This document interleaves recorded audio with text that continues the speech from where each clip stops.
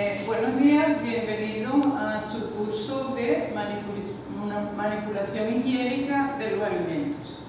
Eh, mi nombre es Elba Sandroni, soy eh, instructora de este curso y el objetivo que yo persigo es que al finalizar todas nuestras ocho horas de trabajo para conocer todo lo que debemos hacer para manejar higiénicamente un alimento, ustedes produzcan al final un alimento que no va a enfermar a nadie. Esa es la primera condición que debe tener un alimento, o sea, ser inocuo.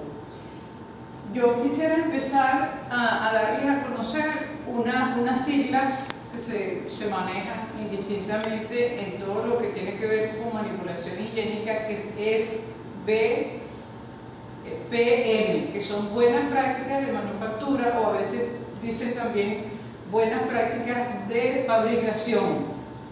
Fíjense que viene a hacer esto, esta sigla significa eh, que son todo lo que uno tiene que, hacer cuando está preparando un alimento basado en el sentido común, o sea, no, no es nada extraordinario, pero para que al final el producto que nosotros obtengamos para nuestros clientes o para nuestros comensales, porque esto también se aplica a todo lo que es la gastronomía, el alimento tiene que ser inocuo. ¿Qué significa eso? Que nadie se debe enfermar al consumir este alimento.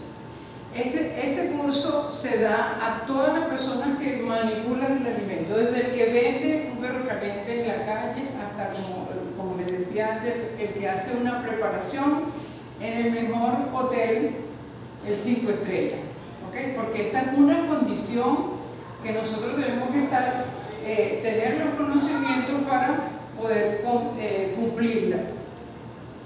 Entonces, fíjense la definición. Que, ¿Cómo definimos buenas prácticas de manufactura? Eso está sacado de varios libros, de varios folletos que se, utilizan para eh, servir de instructores a todos ustedes.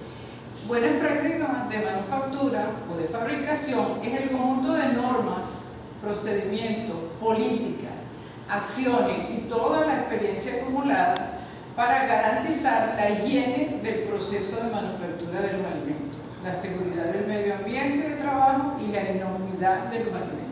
Entonces, fíjense, eso sí suena como una definición un poquito complicada, pero como les decía antes, eso tiene que ver mucho con sentido común. ¿Qué es lo que yo tengo que hacer desde que compro mi materia prima hasta que obtengo el producto final para que nadie se me enferme? O sea, nosotros eh, siempre en la universidad ha existido esa preocupación y nos, ha motivado a, crear diplomados en esta área o hacer cursos porque eh, mucha gente hace eso, prepara alimentos y los vende y no está eh, consciente de que cualquiera se puede enfermar con ese producto que le están fabricando.